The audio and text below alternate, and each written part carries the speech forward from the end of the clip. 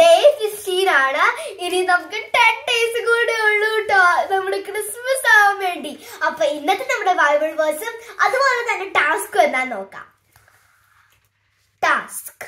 Make a Christmas card ഓ ഞങ്ങൾ കുറച്ച് glitter കുറച്ച് സാധനങ്ങൾ മാത്രമേ ഉള്ളൂ. അതുകൊണ്ട് തന്നെ ആ കുറച്ച് സാധനങ്ങളിലുള്ളിൽ തന്നെ എനിക്കൊരു നല്ല ക്രിസ്മസ് കാർഡ് ഉണ്ടാക്കണം. അപ്പൊ നമുക്കിനി നമ്മുടെ ബൈബിൾ വേഴ്സും കൂടെ ഒന്ന് വായിക്കാം. God has great plans for me. Jeremiah 29:11. ഒന്നുകൂടെ വായിക്കാം God has great plans for me. Jeremiah 29:11.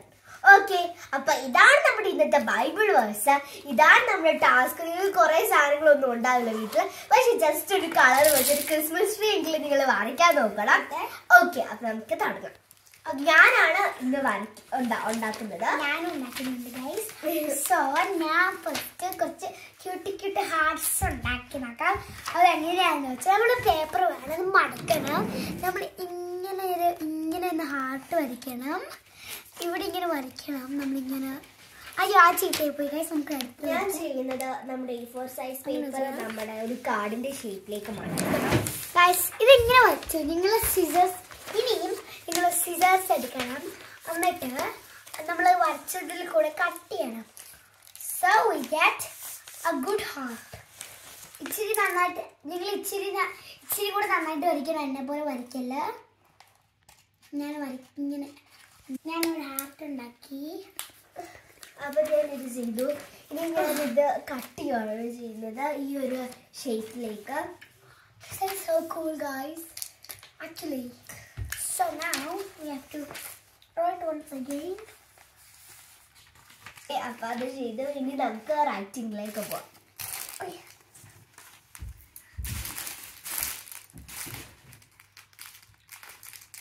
എവിടെയാണ് നോക്കുന്നത്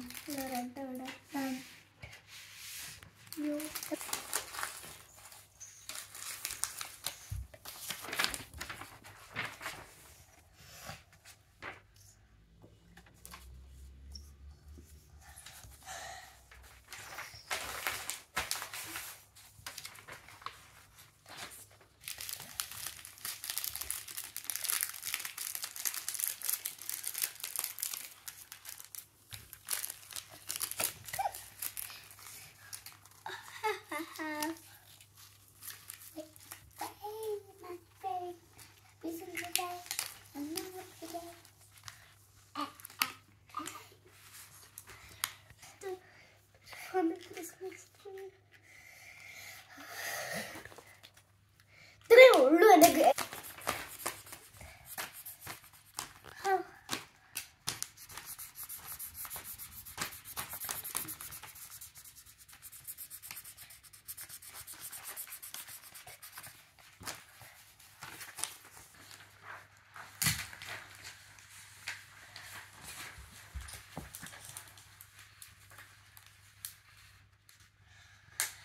നല്ല ബുദ്ധിമുട്ടുള്ള നല്ല